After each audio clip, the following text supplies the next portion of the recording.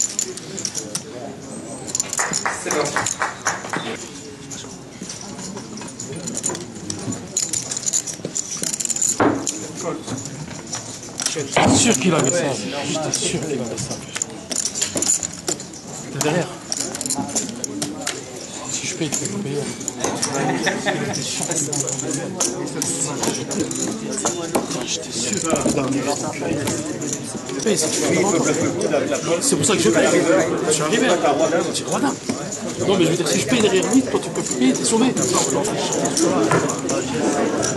And that's what happens when you play family pots against Jonathan Duhamel.